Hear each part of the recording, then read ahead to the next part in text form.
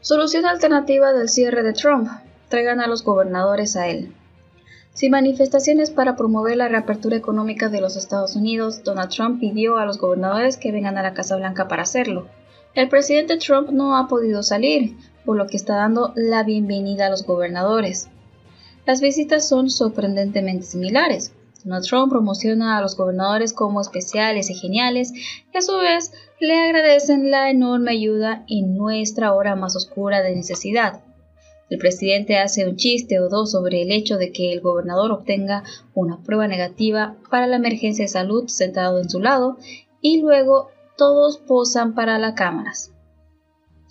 Las reuniones que a veces rayan en la comedia a pesar del tema serio han servido como solución para Trump a su incapacidad para salir a la carretera y realizar manifestaciones o promover la reapertura económica de Estados Unidos, que cree que será clave para su reelección en noviembre. En cambio, está haciendo que los gobernadores vengan a la Casa Blanca para hacerlo por él. En solo tres semanas, Donald Trump se ha reunido con una quinta parte de los gobernadores de la nación, incluido una breve excursión a Arizona, donde se reunió con el gobernador republicano Doug Ducey y recorrió una planta de máscaras faciales. El miércoles, Donald Trump se reunió con el demócrata Jared Polis de Colorado y el republicano Doug Burgon de Dakota del Norte, elogiando a ambos por abrir sus estados. La mayor parte de las palabras de guerra de Donald Trump en los gobernadores desaparecieron después de que algunos aliados advirtieron que podría dañar su reelección. En su lugar, elogio mutuo. No podemos estar haciendo el progreso que estamos haciendo sin ustedes y su administración, dijo el gobernador de Nueva Jersey, Philip Murphys, un demócrata, durante una visita a la oficina oval a finales de abril. Le agradecemos todo. Tengo que decir la verdad, correspondió Trump. Es algo. Se espera que las visitas continúen, según un funcionario de la Casa Blanca familiarizado con los planes. Jerry Brown, quien se enfrentó repetidamente a Donald Trump mientras se desempeñaba como gobernador demócrata de California hasta el año pasado, ofreció críticas fulminantes sobre la respuesta de Donald Trump a la emergencia de salud, pero reconoció la buena política en la que se está haciendo.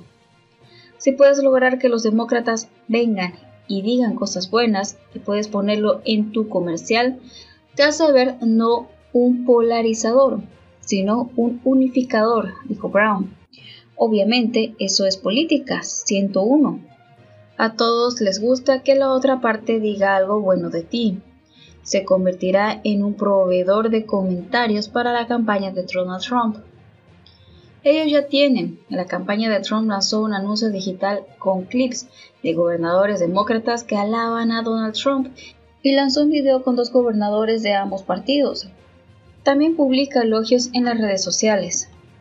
George Allen, un ex gobernador republicano de Virginia que ahora es miembro de la conservadora Comisión Nacional de Recuperación de la Emergencia de Salud de la Fundación Heritage, dijo que Donald Trump y los gobernadores podrían estar jugando a la política, pero argumentaron que los estadounidenses quieren que se lleven bien en tiempos de crisis. Lo que la gente no quiere ver es un montón de francotiradores y pequeñas políticas en marcha, dijo. Es en interés de la moral de la gente mostrar esa unidad de propósito. Donald Trump ha tenido que combatir la acusación de que inicialmente minimizó el brote y no pudo producir y enviar rápidamente pruebas y suministros médicos a los estados. Algunas de esas críticas vinieron de los gobernadores, quienes expresaron su frustración porque Donald Trump retrasó el despliegue de la ley de producción de defensa, una ley de la era de la guerra de Corea que lo faculta para ordenar a los fabricantes que produzcan ventiladores y equipos de protección pero otros gobernadores, incluidos demócratas como Murphy y el gobernador Gavin Newsom de California, han elogiado al presidente. Ahora, a medida que decenas de estados se mueven para reabrir lentamente parte cerrada de la economía, Donald Trump ha puesto la responsabilidad de lo que los gobernadores lideren el camino. La decisión ha colocado a los gobernadores en la mira del público. En algunos lugares, los activistas están organizando protestas contra las continuas órdenes de quedarse en casa.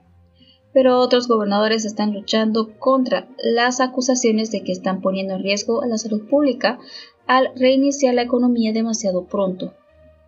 Aún así, si la reapertura estatal provoca un aumento en las infecciones o incluso una segunda ronda de bloqueos, Donald Trump corre el riesgo de ser culpado por no hacer nada.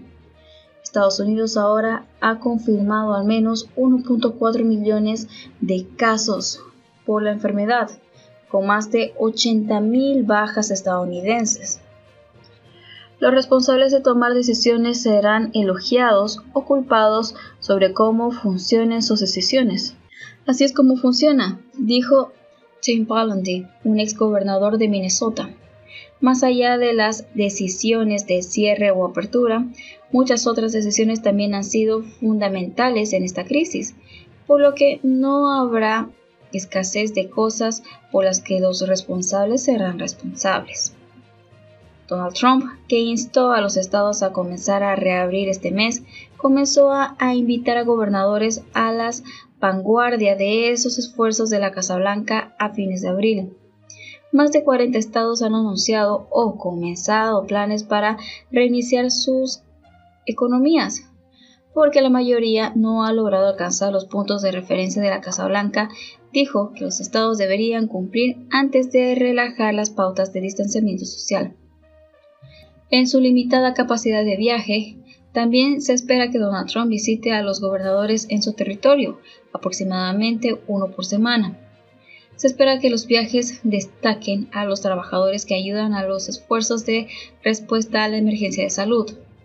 La excursión más hecha para la televisión del presidente será el 3 de julio, cuando planea visitar el monte Rosemore y reunirse con la gobernadora de Dakota del Sur, Kristi Noem, republicana.